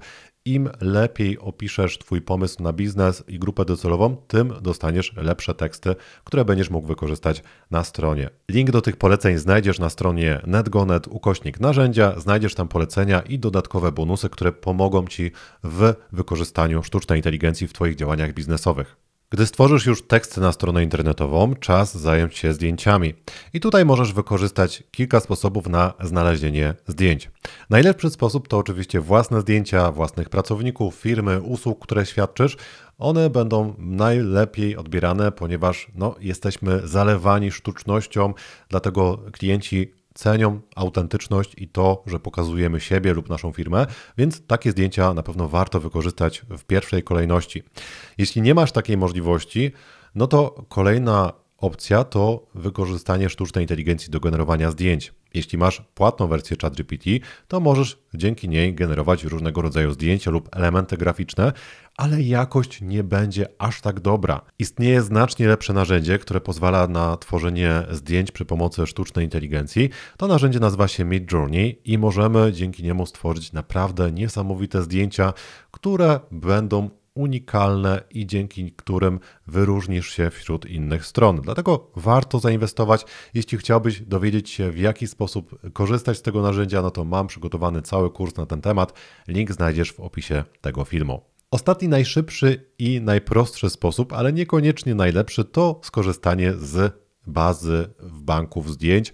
Mamy tutaj na przykład taką stronę jak pexels.com Ona pozwala na wykorzystanie e, dużej ilości zdjęć do celów komercyjnych. Wystarczy sobie kliknąć, zobaczyć rodzaj licencji i pobrać ją właśnie za darmo. Takie zdjęcie możesz edytować od razu w programie Canva. Jeśli nie wiesz, co to za program, no to warto go poznać. Na moim kanale jest 25-minutowy poradnik na ten temat. Z programu Canva korzystam najczęściej do niemal wszystkich grafik. Link do programu Canva znajdziesz w opisie, więc możesz sobie zobaczyć, jak działa. A teraz wróćmy do tworzenia strony internetowej. Mam nadzieję, że stworzyłeś sobie już teksty na Twoją stronę internetową. Teraz możemy przejść do kolejnych zakładek i pokażę Ci, jak zmienić ich nazwy, ponieważ nie chcemy tutaj angielskich zakładek. Musimy to zmienić. Najprościej zrobić to w ten sposób, że wchodzisz sobie do kokpitu, do stron, Następnie mamy poszczególne strony. Na przykład mamy stronę About, klikam sobie szybka edycja i wpisuję o nas, a poniżej wpiszę sobie o nas już razem. To będzie link do naszej strony. To samo dotyczy strony kontaktu, szybka edycja, kontakt i tu wpisuję kontakt małymi literami. To będzie również link do naszej strony. Tu mamy stronę testową, no i mamy usługi, to samo usługi usługi. Strony, których nie potrzebujemy, możemy na razie wyrzucić do kosza, żeby nam nie zaśmiecały. No i w ten sposób mamy przetłumaczoną naszą nawigację. Przejdźmy teraz do edycji strony o nas. Klikam Edytuj w Elementorze i teraz mamy naszą stronę, w której możemy sobie podmienić tło, czyli klikam sobie tutaj i wybieram jakieś inne tło, najlepiej takie, które masz już przygotowane wcześniej. Ja wkleję sobie tutaj jakieś przykładowe. Mamy teksty o nas. I tutaj możesz sobie podmienić właśnie te elementy. Jeśli nie chcesz na przykład dodawać tutaj trzech tych kafelek, no to możesz je powielić, żeby były cztery, albo możesz je całkowicie usunąć. Wtedy tylko trzeba zadbać o to, żeby odstępy były prawidłowe, czyli klikamy sobie tutaj na ten kontener, na zaawansowane. Mogę tutaj dodać dopełnienie 50 pikseli. Wtedy ten element będzie miał takie same tło jak tutaj. Każdy z tych elementów możesz sobie zmienić. Mamy tutaj proces. Jeśli chcesz go skrócić, no to możemy sobie znowu usunąć daną sekcję, dany element. Możemy również umieścić go w jednym wierszu, tylko wtedy musimy sobie zmienić te oznaczenia. Na przykład tu damy sobie czwórkę, a to usuwam. W ten sposób możesz bardzo szybko zmienić wygląd każdego z szablonów. Pokazuje Ci to, żebyś miał większą elastyczność w tym procesie tworzenia.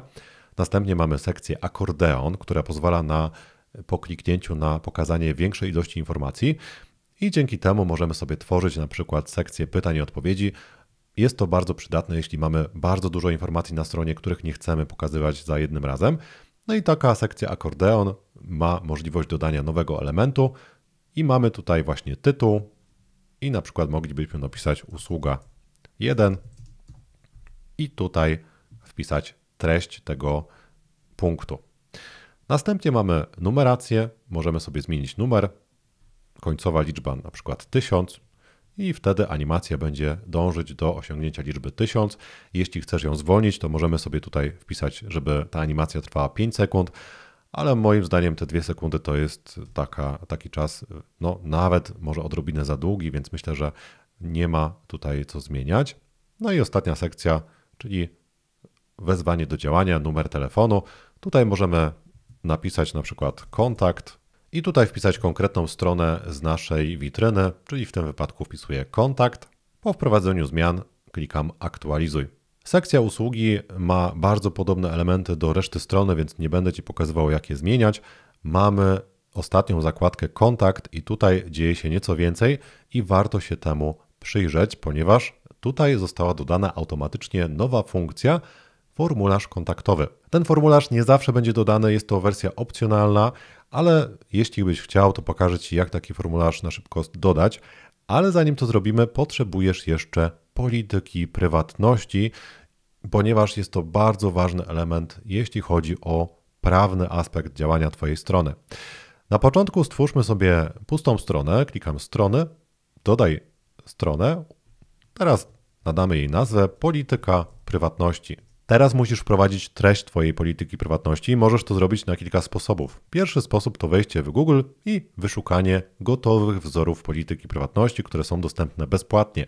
Takie wzory są pewnym rozwiązaniem, ale mogą być nieaktualne, mogą zawierać błędy, przez co możesz mieć przykre konsekwencje prawne. Ja korzystam z gotowych wzorów dokumentów, które są dostępne na stronie Legalny Biznes Online. Taki produkt zawiera wzór polityki prywatności i plików cookies, który należy wypełnić we własnym zakresie. Są tam komentarze i konkretne informacje, w jaki sposób ten produkt uzupełnić. Następnie taki tekst możesz dodać sobie do strony. Jeśli wpiszesz tutaj kod rabatowy NetGonet, no to wtedy cena zostanie obniżona o 10% i ten kod rabatowy możesz wykorzystać do wszystkich dokumentów i umów, które są dostępne na stronie Legalny Biznes Online. Tak wygląda plik, który otrzymasz. Mamy tutaj treść polityki prywatności, są pola do uzupełnienia, a potem taki tekst wklejasz sobie do Twojej strony internetowej lub przesyłasz go w wybranym formacie, np. PDF. Link do tej strony i kodu rabatowego znajdziesz w opisie tego filmu, a teraz wracamy do tworzenia strony kontaktu.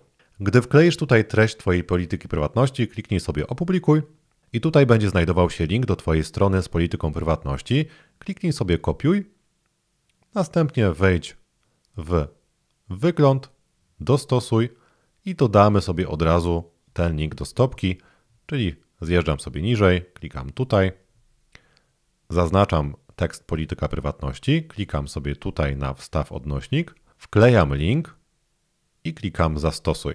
Jeśli kolor tego linku Ci nie odpowiada, to najszybciej zrobić to w ten sposób, że zaznaczasz ten tekst, wybierasz tutaj kolor tekstu i wybierasz biały. Wtedy kolor zmieni się na biały, a link nadal będzie klikalny. Teraz klikam opublikuj. Jeśli chcesz dodać formularz kontaktowy do strony, będziesz potrzebować nowej wtyczki. Wejdź sobie na dodaj wtyczkę i tutaj wpisz sobie WP Forms. Ta wtyczka została już automatycznie zainstalowana, ale ty możesz jej nie mieć, dlatego musisz ją zainstalować i uruchomić. Ma ponad 5 milionów aktywnych instalacji. Gdy jest uruchomiona, wejdź sobie na WP Forms. Teraz kliknij na Dodaj. Pisz sobie nazwę formularza. Następnie możesz wybrać jeden z szablonów. Ja wybiorę sobie pusty formularz, żeby pokazać Ci wszystko krok po kroku. Teraz wybierz pola, które będą w tym formularzu. Na pewno potrzebujemy adresu e-mail klienta, potrzebujemy tekstu, akapit tekstu, czyli miejsce na wiadomość. Po kliknięciu w dane pole możemy zmienić etykietę, możemy wejść również w zaawansowane i sprawić, żeby ten formularz był na pełną szerokość, czyli wielkość pola wybieramy duże. Akapit tekstu możemy wpisać wiadomość. Następnie wracam do zakładki Dodaj pole i wybieram sobie teraz listę rozwijalną, dzięki czemu klient będzie mógł wybrać na przykład jedną z usług, która go interesuje. No i tutaj również możesz edytować te opcje wyboru. Ostatni bardzo ważny element to akceptacja właśnie zgody na politykę prywatności. Możemy to zrobić w formie pola wyboru. Klikam sobie tutaj, klikam na zaawansowane, ukryję etykietę, bo nie chcę, żeby klient ją oglądał. Usuwam tutaj te informacje. No i teraz muszę wpisać polecenie. Wyrażam zgodę na przetwarzanie moich danych zgodnie z, tutaj wpisujemy polityka prywatności i tutaj w, ty, i w tym miejscu przed słowem polityka prywatności wpisujemy a równa się cudzysłów, wklejamy link do polityki prywatności i zamykamy link. Następnie przechodzimy na koniec i wpisujemy zamknięcie w ten sposób zgodnie z polityką prywatności. I tutaj wpisujemy dalszą część tego komunikatu. Treść tego komunikatu zależy od tego, jakie dane przetwarzasz, co masz w formularzu, więc jest to tylko przykład. Najlepiej porozmawiać z radcą prawnym i stworzyć wspólny, dobry komunikat, który będzie pasował do Twojej firmy. Ostatni bardzo ważny element to zaznaczenie, że dane pole jest wymagane, czyli jeśli klient nie zaznaczy tego pola, to nie przejdzie dalej. Teraz zapisz zmiany w formularzu, wejdź sobie w ustawienia i tutaj musisz wybrać powiadomienia, czyli na jaki adres e-mail zostanie przesłana ta wiadomość. Domyślnie powiadomienia o nowej wiadomości będą wysyłane na adres e-mail administratora strony WordPress. Ty możesz wpisać tutaj dowolny adres e-mail i na ten adres będą przesyłane powiadomienia o z takim tytułem i właśnie będą tu dodatkowe szczegóły, które można sobie uzupełnić. Tutaj możesz również uzupełnić wiadomość potwierdzającą wysłanie formularza. Ja sobie to wszystko zapisuję. I teraz wracam do. I teraz Klikam tutaj, wychodzę z tego edytora. Mamy nowy formularz kontaktowy, który możemy wykorzystać na naszej stronie. Teraz przechodzę do mojej strony kontaktu.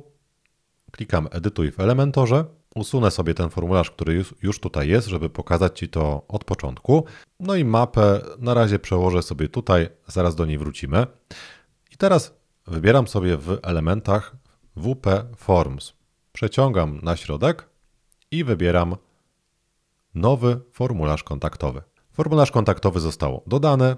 Teraz musimy tylko dopasować wizualną część reszty strony, czyli możemy sobie na przykład wybrać, żeby szerokość tych bloków była na 50%. No i mapa tutaj zupełnie nie pasuje, więc moglibyśmy stworzyć sobie nową sekcję, w której będzie znajdowała się mapa. Mogę sobie ją skopiować i wkleić tutaj, a stąd po prostu ją usunę. Mapa jest bardzo przyjazna, ponieważ wystarczy kliknąć sobie w edycję, no i tutaj możemy wpisać albo współrzędne, albo konkretne miejsce, czyli na przykład piszę Katowice Spodek. I zostałem automatycznie przekierowany właśnie w takim widoku. Możemy sobie powiększyć ten widok, możemy go oddalić, możemy zmienić wysokość tej mapy, więc jest to bardzo przyjemne rozwiązanie. Jeśli byś chciał, to można również dodać tutaj niestandardowe style, które zmienią wygląd tej mapy. Częstą praktyką, którą stosuje się na stronach kontaktu, to podlinkowanie numeru telefonu. Wystarczy kliknąć w dany tekst albo właśnie ikonkę i tutaj przy numerze wpisać coś takiego tel dwukropek, no i tutaj wpisujemy nasz numer telefonu. To samo można zrobić w tekście. Przy odnośniku wpisujemy tel, aktualizuję i teraz gdy podejrzę sobie stronę, kliknę to wtedy zostanę przekierowany do aplikacji, która obsługuje telefon. Tutaj można by jeszcze dodać ikonki mediów społecznościowych, czyli wpisuję sobie w elementach social i tutaj pod tymi numerami dodam sobie ikonki. Chciałbym, żeby były wyrównane do lewej strony. Wejdę sobie na styl, wybiorę własny kolor i w tym wypadku wybiorę sobie tego typu kolor. Teraz jeszcze nieco je zmniejszę, żeby były dopasowane do reszty ikon na stronie. No myślę, że te ikonki są też za małe, więc można by je zmienić. I zmienię sobie kształt na koło. W ten sposób możesz dopasować elementy na Twojej stronie kontaktu. Teraz czas na aktualizację i przetestowanie formularza kontaktowego, czyli wchodzisz jeszcze raz w podgląd strony, klikając w oko i wpisujemy dane do przesłania. Pokażę Ci teraz, jak stworzyć i dodać nową stronę do nawigacji. Załóżmy, że chcesz stworzyć stronę zapisu na newsletter lub na jakiś bezpłatny materiał. Wystarczy, że wejdziesz sobie na strony, utwórz stronę, wpisujemy nazwę, załóżmy, że będzie to e-book, klikam edytuj w Elementorze, klikam na szablony i tutaj wybiorę sobie szablon stronę z e-bookiem albo z książką. Można łatwo podmienić właśnie książkę na e-booka. Zobaczmy sobie, jakie mamy tutaj możliwości. Załóżmy, że mamy tutaj taką stronę z e-bookiem, klikam import, nowa strona została dodana, no i tutaj musiałby się edytować wedle wcześniejszych zasad. Tutaj trzeba sobie stworzyć jakąś grafikę i mamy gotową stronę. Zapisuję i publikuję zmiany. Mogę ją zobaczyć. Ale niestety nie pojawia nam się w naszej nawigacji. Co można zrobić? Wracam sobie do WordPressa, wchodzę sobie na wygląd, menu i tutaj mamy naszą nawigację. Klikam sobie tutaj utwórz nowe menu. Następnie wybieram, żeby to było menu główne, wpisuję nazwę. Teraz wybieram strony, które dodam do mojej nawigacji. Mogę kliknąć zobacz wszystkie i mamy tutaj home, o nas, kontakt, polityk prywatności. Wybiorę wszystkie strony. Teraz warto by zmienić ich kolejność. Załóżmy, że kontakt będzie na końcu, usługi będą jako drugie, potem będzie o nas, a polityka prywatności będzie pod kontaktem. Nie chcę, żeby była w głównej nawigacji, tylko zrobimy sobie e, takie rozwijane menu. Możemy dodać również wpisy i własne odnośniki, czyli jeśli chciałbyś dodać tutaj link, który prowadzi do innej strony, to możesz wpisać coś takiego. Wpisuję tutaj nazwę strony i wpisuję treść odnośnika, czyli kurs WordPress. Następnie dodaję taki element do nawigacji i dodaję go na przykład przed kontaktem. Teraz zapisuję naszą nawigację i wchodzę na stronę. Nawigacja została zmieniona, mamy home, mamy usługi, o nas e-book. Po kliknięciu przeniesie nas na taką stronę. Tutaj mamy nieco inny nagłówek, on ma białe tło, wygląda to znacznie lepiej. I mamy kurs WordPress. Po kliknięciu zostałem przekierowany na inną stronę. Ta strona dotyczy akurat mojego kursu online na temat tworzenia stron internetowych. Jeśli jesteś zainteresowany poszerzeniem swojej wiedzy i znalezieniu wsparcia w społeczności, no to zapraszam Cię. Link do kursu znajdziesz w opisie tego filmu. Wracam na moją stronę i tutaj mamy jeszcze nawigację rozwijaną. No ale co się podziało? Niestety tekstu nie widać. Musimy to naprawić. Wejdź sobie jeszcze raz w dostosuj. No i tutaj musimy dopasować kilka ustawień. Musimy wejść sobie w Header Builder, następnie Customize Transparent Header i tutaj wejść w Design. I w tym miejscu mamy submenu Color i możemy sobie wybrać, żeby kolor linków był na przykład ciemny i automatycznie kolor zostanie zmieniony. Możemy również zmienić właśnie tło tego kontenera, czyli może być na przykład niebieskie. No tutaj biały będzie pasował najlepiej. Zmieniłeś Twoją nawigację, teraz trzeba tylko sprawdzić, czy wygląda dobrze na urządzeniach mobilnych. Można zrobić to w bardzo prosty sposób. Wystarczy, że klikniesz sobie tutaj i automatycznie przełączysz się na widok na tabletach oraz na smartfonach. Możesz kliknąć tutaj i zweryfikować, czy wszystko wyświetla się prawidłowo, sprawdź kolory, sprawdź menu rozwijane i w ten sposób będziesz miał pewność, że wszystko wygląda ok. I jeśli coś by nie działało, no to wtedy możesz e, wykonać odpowiednie kroki, które zaraz Ci pokażę. Na większości szablonowych stron wszystko powinno być w porządku, ale jeśli chcesz wprowadzić zmiany, to po pierwsze możesz zmienić układ tych elementów w nawigacji, na przykład na taki, no i wtedy na urządzeniach mobilnych będzie to wyglądało w ten sposób, a na komputerach tak jak wcześniej. Czyli mamy pierwszą opcję, czyli możemy zmieniać kolejność y, tylko na wybranym urządzeniu. Możemy zmienić zakładkę Design i w tym miejscu zmienić właśnie odstępy lub marginesy tej nawigacji oraz możemy zmieniać kolory. Jeśli chcesz zmienić kolor tej ikony lub właśnie wypełnienia tej ikony, możesz wybrać styl przycisku Możesz wejść również na zakładkę Design i w tym miejscu zmienić kolor tego elementu, na przykład na taki. Możesz również wybrać przezroczysty kolor, wtedy będzie to wyglądało w ten sposób, no i zmienić rozmiar, żeby ta ikona była bardziej widoczna. W ten sposób możesz sobie dopasować ten element do własnych potrzeb. Mamy tutaj również opcję zaokrąglenia rogów. Możesz kliknąć sobie na procenty, kliknąć tutaj i wpisać 100%. Wtedy ten element będzie zaokrąglone. Jeśli potrzebujesz, możesz dodać tutaj dodatkowe elementy, na przykład link do konta, jeśli masz sklep lub platformę kursową. Tego dzisiaj nie omawiamy, ale chcę, żebyś wiedział, że masz taką opcję. Jeśli chcesz zmienić sposób zachowania oraz wygląd tego elementu po kliknięciu, to wejdź sobie tutaj w ikonkę of Canvas, kliknij tu w to koło zębate i mamy kilka elementów do zmiany. Przede wszystkim możemy zmienić header type, czyli na przykład sprawić, żeby ta nawigacja otwierała się na cały ekran. Możesz wybrać flyout, wtedy ta nawigacja będzie otwierana z lewej lub prawej strony. I mamy również kilka opcji dotyczących położenia tego tekstu. Ja wybiorę sobie tutaj wyśrodkowanie content online, żeby ten tekst był na środku. Mamy również kilka opcji stylistycznych. Możemy wybrać kolor tła, jeśli mamy na cały ekran, no to wtedy to tło pod nawigacją będzie w innym kolorze. Możemy wybrać styl właśnie tego przycisku zamykającego. Jeśli chcesz zmienić również kolor tych elementów, no to klikasz sobie tutaj, Design, no i w tym miejscu masz opcję związaną z tłem, czyli możemy sobie wybrać spójne tło. I tutaj możesz zmienić również kolory linków w nawigacji. Gdy jesteś zadowolony z wyglądu Twojego nagłówka, to przejdźmy sobie jeszcze do stopki. No i tutaj również możesz wprowadzić kilka poprawek, na przykład wyśrodkować te ikonki na dole. Myślę, że to wystarczy. Reszta zasad jest taka sama jak wcześniej. Przejdźmy jeszcze na chwilę do tego widoku. Następnie wchodzę na Home i wchodzę na widok mobilny. No i tutaj występuje niestety problem, ponieważ tekst nachodzi na naszą nawigację i czas to naprawić. Niestety nie zrobimy tego w tym miejscu, więc musimy przejść do Elementora. Klikam opublikuj, zamykam ten edytor i wchodzę w edytuj w Elementorze. Tekst na tej stronie nie wygląda dobrze na urządzeniach mobilnych, więc co możemy zrobić, żeby to naprawić?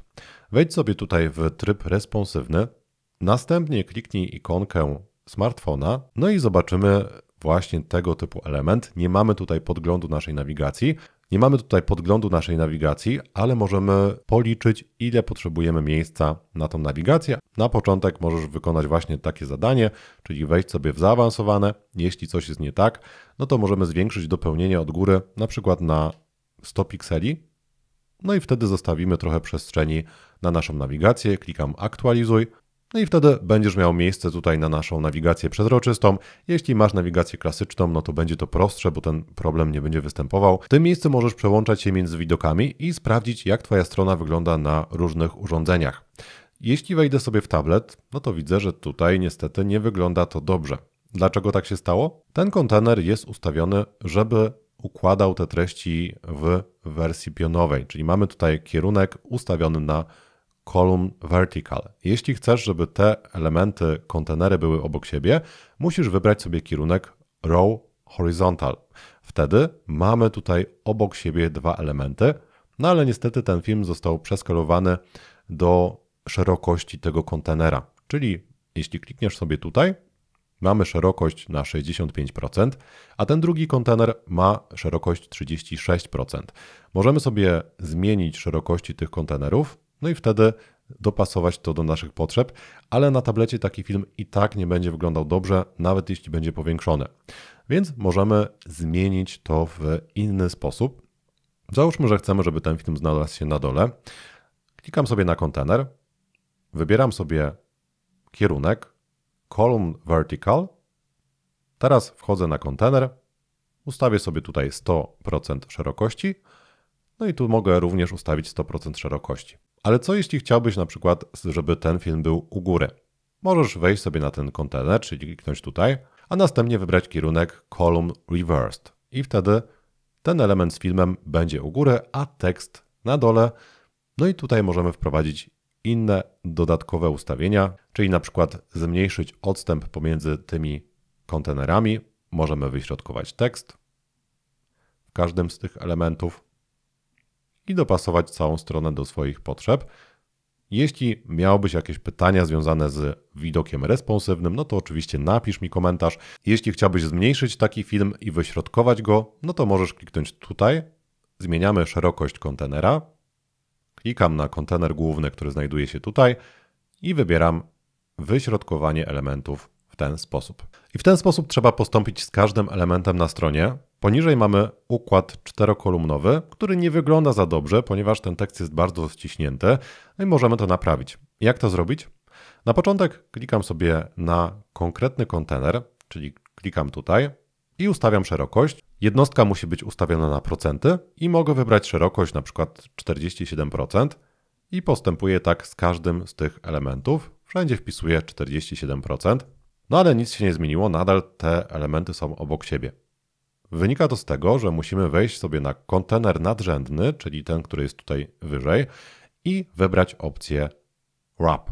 Teraz automatycznie te elementy zostaną ustawione obok siebie. Ale nadal coś jest nie tak, ponieważ po lewej stronie mamy bardzo mały odstęp, a tutaj mamy znacznie większy. Jak to wyrównać? Wystarczy, że klikniemy na kontener i wybierzemy wyśrodkowanie. Wtedy te elementy zostaną wyśrodkowane i wszystko jest już tutaj równo. I teraz musisz przejść przez każdą podstronę i sprawdzić, czy wyświetla się prawidłowo na urządzeniach mobilnych. Korzystając z tego podglądu, możesz też przeklikać stronę na fizycznych urządzeniach, na smartfonie, na tablecie, żeby zobaczyć, jak zachowuje się strona i wtedy wprowadzać potrzebne korekty. Pokażę Ci jeszcze jeden przykład, który wiąże się z ustawieniem kolejności elementów. Tworzę sobie nową stronę, klikam Edytuj w Elementorze i wczytam nowy szablon strony, Załóżmy, że będzie to strona portfolio, klikam import, podmieniam sobie zdjęcie. Wygląda to całkiem nieźle, polecam klientom takie układy, ponieważ jeśli to jest strona marki osobistej, no to warto pokazywać swoją twarz, żeby klient wiedział, że dobrze trafił.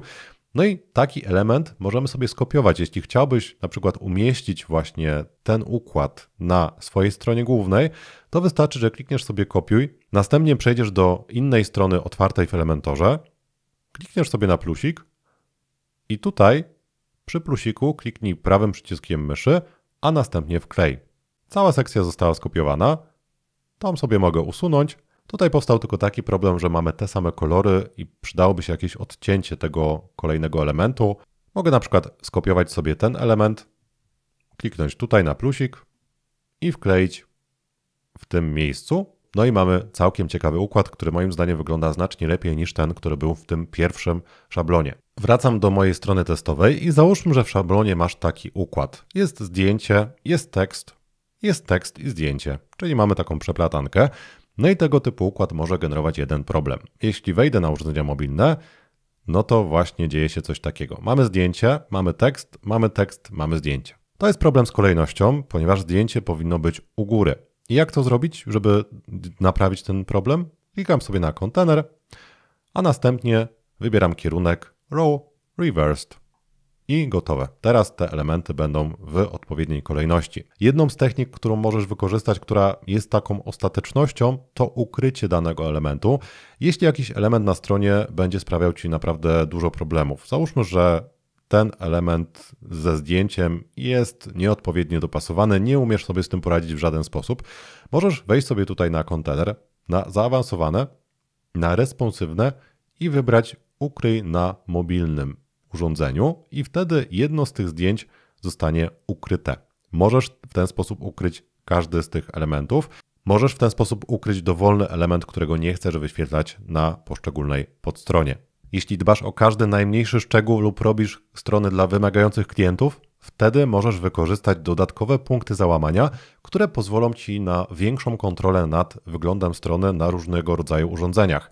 Żeby dodać takie dodatkowe punkty, możesz kliknąć sobie tutaj na to koło zębate, następnie kliknąć na plusik i masz tutaj kilka możliwości, które możesz dodać. One są domyślnie wyłączone, żeby nie mieszać zbyt dużo. No i możesz je dodać, możesz również zmienić te wartości, ale jesteś, jeśli jesteś osobą początkującą, wystarczy, że klikniesz na plusik. Tutaj możesz dodać kolejne punkty zmiany, następnie kliknij aktualizuj. Teraz masz dostęp do znacznie większych możliwości i możesz dopasować Twoją stronę do różnych rozmiarów ekranu. Gratulacje, jeśli jesteś w tym miejscu, to zmieniłeś wygląd Twojej strony, stworzyłeś teksty i dodałeś różne obrazy na stronę, dopasowałeś ją do urządzeń mobilnych, dodałeś politykę prywatności oraz formularz kontaktowy na Twoją stronę, jeśli miałeś taką potrzebę. W czwartym kroku skupimy się na dodaniu do Twojej strony kilku funkcjonalności oraz na kilku usprawnieniach. Pokażę Ci, w jaki sposób dodać do Twojej strony banner, który informuje użytkowników o tym, że korzystasz z plików cookies. Pokażę Ci, w jaki sposób wykonać podstawową optymalizację Twojej strony pod wyniki wyszukiwania oraz będziesz mógł dodać bloga do strony, jeśli masz taką potrzebę. Zacznijmy sobie od pierwszego elementu, czyli baneru informującego o plikach cookies. Żeby działać zgodnie z prawem, musisz dać użytkownikom możliwość odmowy wykorzystania plików cookies, czyli np. plików śledzących. I żeby to zrobić prawidłowo, musisz zarejestrować się na jednej stronie, która umożliwia dodanie tego systemu bezpłatnie. Na początek kliknij w link, który znajdziesz w opisie tego filmu. Znajdziesz się na takiej stronie i tutaj musisz wybrać plan free. Ten plan pozwala na dodanie takiego baneru i wykorzystanie go na stronie, która nie przekracza 25 tysięcy odwiedzin miesięcznie. Jeśli przekroczysz tą ilość odwiedzających, no to będziesz musiał kupić sobie wersję Pro, ale dopóki nie podasz swojej karty płatniczej, no to żadne opłaty nie zostaną pobrane, więc możesz spokojnie założyć tutaj konto. Kliknij sobie Get Started. Następnie wpisz adres e-mail, adres Twojej strony, hasło i zaloguj się do systemu klikając tutaj Get Started. Po stworzeniu konta wróć sobie do Twojej strony internetowej, wejdź na wtyczki, dodaj wtyczkę i tutaj wpisz nazwę Cookies. Następnie zainstaluj to rozwiązanie, ma ponad milion aktywnych instalacji, klikam zainstaluj, no i trzeba ją uruchomić tak jak wcześniej. Teraz wejdź sobie tutaj i kliknij Connect to Web App. Klikam Mam już konto i klikam zaloguj się i połącz, zostaniesz przeniesiony do systemu logowania. Jeśli jesteś zalogowany, to wystarczy kliknąć Connect Site. Jeśli nie, to podaj tutaj Twoje dane logowania i zaloguj się do strony. Strona została połączona, możemy kliknąć tutaj i przejść do strony z ustawieniami. Na początek zmieńmy język tego baneru. Klikam sobie tutaj, dodaję język, wpisuję polski, zatwierdzam przyciskiem Add, następnie klikam tutaj, i wybieram ustaw jako domyślny. Muszę jeszcze raz potwierdzić. Teraz domyślnym językiem naszego banera będzie język polski. Możemy przejść do konfiguracji. wchodzę sobie na Cookie Banner i w tym miejscu mamy podgląd naszego paska. Możemy wprowadzać różne ustawienia i przejdźmy sobie do wyglądu. Ja zazwyczaj wykorzystuję klasyczny układ, ponieważ większość użytkowników jest do niego przyzwyczajonych. Mamy tutaj od razu podgląd, jak będzie wyglądać na naszej stronie. Następnie mamy content. W tym miejscu możemy sobie ustawić wszystkie informacje związane z powiadomieniami, które będą wyświetlać się na naszej stronie. Jeśli klient kliknie dostosuj, to w tym miejscu będą znajdować się różne powiadomienia. W tym miejscu możesz decydować, które elementy zostaną wyłączone, a które nie. W tym komunikacie warto dodać link do polityki cookie, do polityki prywatności. Wystarczy kliknąć tutaj, wpisać po polsku na przykład polityka prywatności, no i w tym miejscu wkleić adres URL Twojej strony z polityką prywatności, którą stworzyłeś wcześniej. Następnie mamy kolorystykę, no i tutaj możemy kliknąć Auto Generated i wtedy system automatycznie powinien pobrać kolory ze strony i ustawić kolory, które będą spójne, czyli mamy tutaj taki fiolet, tak jak na moich przyciskach. Możemy również wybrać to ręcznie, czyli Customize Auto Generated Color. No i mamy tutaj na przykład opcję, żeby zmienić każdy z tych kolorów i dopasować do swoich potrzeb. Kolejna zakładka to Cookie Manager i w tym miejscu pojawią się pliki cookies, które wykorzystuje Twoja strona. Na ten moment nie mam tutaj żadnych dodatkowych plików cookies, mamy tylko pliki niezbędne. Jeśli masz bardziej rozbudowaną stronę, no to wtedy będą pojawiać się tutaj różne pliki w konkretnych zakładkach. Tutaj musisz uważać tylko na jedną rzecz. Jeśli system źle przyporządkuje pliki cookies, na przykład jeśli masz sklep internetowy i wrzuci tutaj pliki związane z obsługą koszyka, no to jeśli klient odrzuci taką zgodę, no to mogą nie działać pewne funkcje, więc musisz to przejrzeć.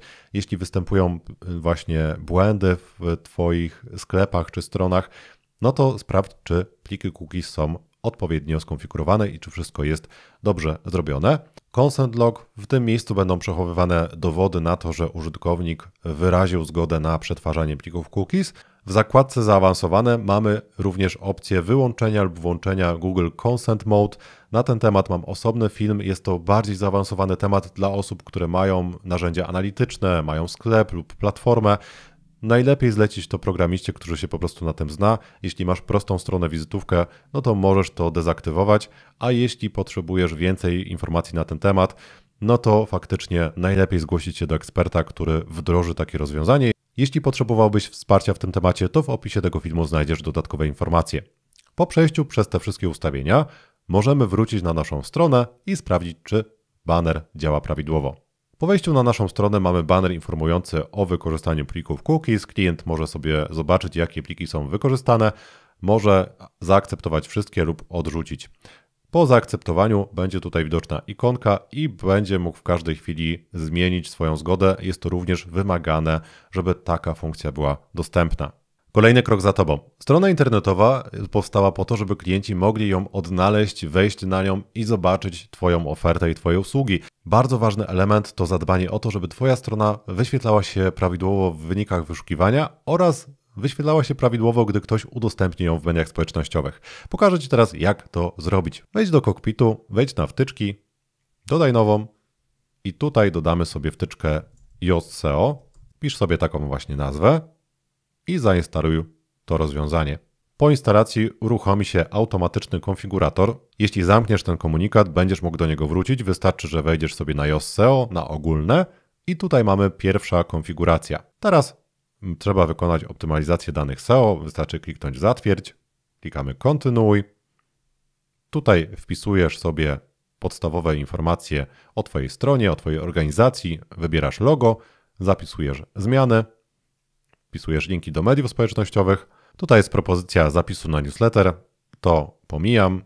No i mamy przejście do kokpitu SEO. Teraz, gdy pierwsza konfiguracja jest zakończona, możemy sobie wejść w stronę i zobaczysz po prawej stronie tego typu ikonki, które wskazują na to, czy strony są zoptymalizowane pod konkretne frazy kluczowe. Nie będę omawiał tego systemu bardzo szczegółowo, pokażę Ci tylko najważniejsze elementy, o których musisz wiedzieć. Jeśli mamy stronę główną, no to możesz sobie wejść na edycję i tutaj zobaczysz nowy element Yoast SEO. To jest właśnie funkcja, która została dodana przez tą wtyczkę i tutaj możemy na początku wprowadzić frazę kluczową, na którą ta strona ma wyświetlać się w wynikach wyszukiwania. Jeśli wpiszę tutaj frazę strona internetowa, po wpisaniu frazy kluczowej system da Ci pewne rekomendacje, które mają sprawić, że Twoja strona znajdzie się wysoko w wynikach wyszukiwania. Tutaj możemy zmienić jeszcze kilka elementów. Tak wygląda podgląd tej strony. Jeśli ktoś wpisze Gonet System, no to mamy tutaj właśnie te szablonowe informacje i możemy je zmienić. Wystarczy, że usuniesz sobie ten tytuł i wpiszesz własny tytuł. Tytuł powinien nawiązywać do frazy kluczowej i pokazywać to, czym zajmuje się Twoja firma. Czyli na przykład, jeśli byłaby to strona kursowa, mógłbym stworzyć taki tytuł: Kurs WordPress dla początkujących, Następnie mamy uproszczoną nazwę oraz opis. W tym opisie zwróć uwagę na dwie rzeczy. Pamiętaj, żeby były tu frazy kluczowe, ponieważ one będą pogrubione, gdy użytkownik będzie wpisywał konkretne frazy w wyszukiwarce Google oraz spraw, żeby ten opis był na tyle atrakcyjny, że ktoś zdecyduje się kliknąć w Twoją stronę. Poniżej mamy analizę SEO, czyli mamy właśnie rekomendacje, które mają sprawić, że Twoja strona znajdzie się wyżej w wynikach wyszukiwania, będzie miała takie szanse. Warto sobie poprawić te elementy. Dokładny opis na temat tego, czym jest SEO i jak sprawić, żeby Twoja strona znalazła się wysoko w wynikach wyszukiwania Google, znajdziesz w moim kursie online, który przygotowałem wraz z ekspertką od SEO. Link do kursu znajdziesz w opisie tego filmu. Teraz przejdźmy jeszcze sobie do zakładki media społecznościowe i tutaj jest ważny element, o którym musisz pamiętać.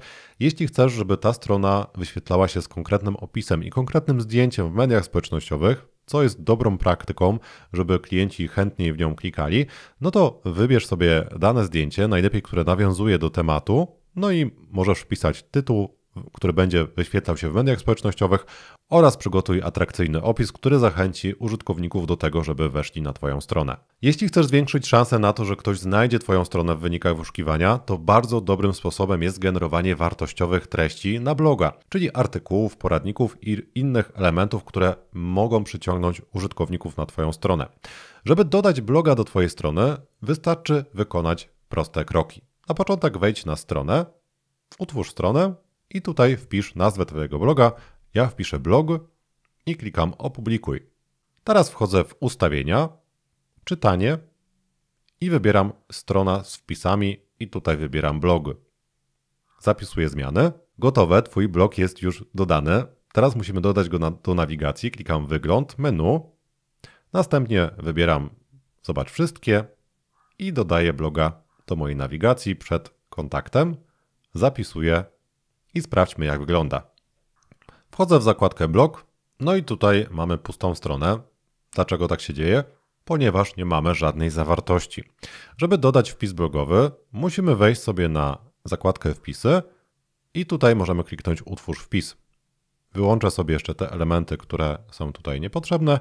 Klikam utwórz i w tym miejscu możemy stworzyć sobie wpis. Wpisujemy tytuł, poniżej wpisujemy zawartość, czyli mogą to być właśnie teksty, zdjęcia i inne elementy, możesz do tego celu skorzystać z tego domyślnego edytora blokowego, czyli kliknąć sobie tutaj na plusik, no i wpisać sobie jakiś nagłówek, wpisać tekst, akapit. Możemy sobie przeciągać te elementy podobnie jak w Elementorze, ale mamy tutaj znacznie mniej możliwości edycji tych bloków, więc o tym warto pamiętać. To rozwiązanie na pewno działa znacznie szybciej, więc jeśli zależy Ci na wydajności, to warto z niego korzystać. No i możemy wybrać również obrazek wyróżniający, który będzie pojawiał się w tym wpisie, czyli wybiorę sobie na przykład taką panią i klikam opublikuj. Dodałem do bloga cztery wpisy, no i obrazki wyróżniające. Niektóre są w poziomie, niektóre kwadratowe. Warto jednak dodawać obrazki, które będą w tej samej stylistyce, w tym samym rozmiarze. Możesz do tego wykorzystać program Canva, który również opisałem na moim kanale. Teraz, żeby zmienić wygląd tego bloga, no bo przyznasz, że nie wygląda zbyt atrakcyjnie, możemy wejść sobie w dostosuj. Motyw Astra daje nam kilka możliwości zmiany. Wejdź sobie na blog, następnie na blog Archive. Teraz możesz wybrać kilka ustawień. Możesz kliknąć sobie tutaj i uruchomić tytuł na tym blogu. Jeśli kliknę jeszcze raz tu, wchodzę sobie tutaj w układ drugi, wybieram uruchom. No i w zakładce Title Blog muszę wpisać nazwę czyli wpisuję sobie jakąś nazwę, na przykład blog i mogę również pisać opis, czyli opis, pod spodem będzie informacja, czego dotyczy ten blog. No i kolorystyka odbiega od naszej strony, więc trzeba jeszcze sobie zmienić kolory. możemy wejść w zakładkę Design i sprawić, żeby te elementy miały inne kolory. Jeśli chcesz zmienić kolor tła, wystarczy, że wybierzesz Custom i tutaj wybierzesz sobie kolor, może to być kolor globalny, albo jakiś wybrany przez Ciebie, no i wtedy musiałbyś dopasować również kolor tytułu, na przykład żeby był biały, no i kolor opisu. W ten sposób możesz sobie dopasować nasz główny banner.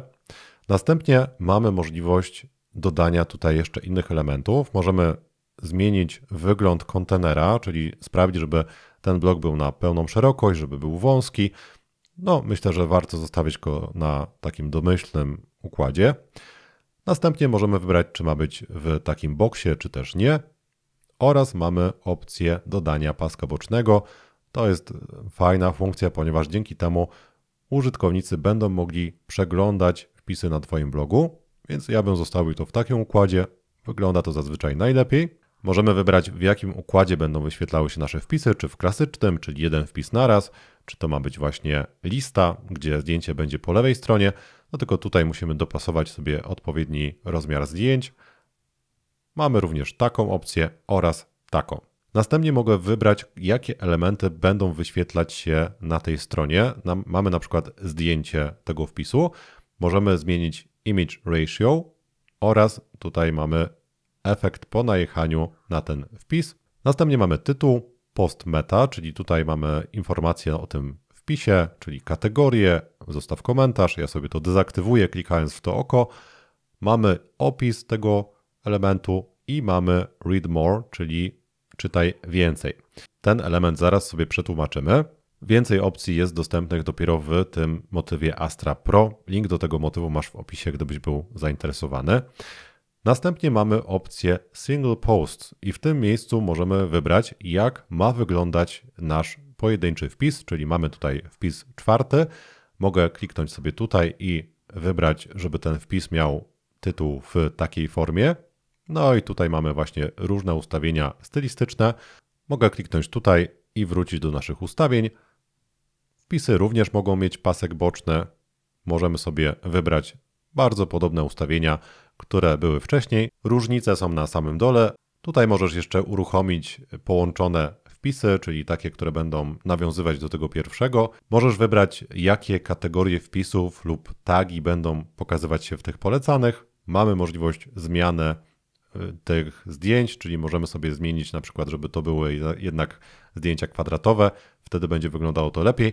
To ustawienie zależy od tego, w jakich proporcjach zdecydowałeś się dodawać zdjęcia do miniatur i do Twoich wpisów.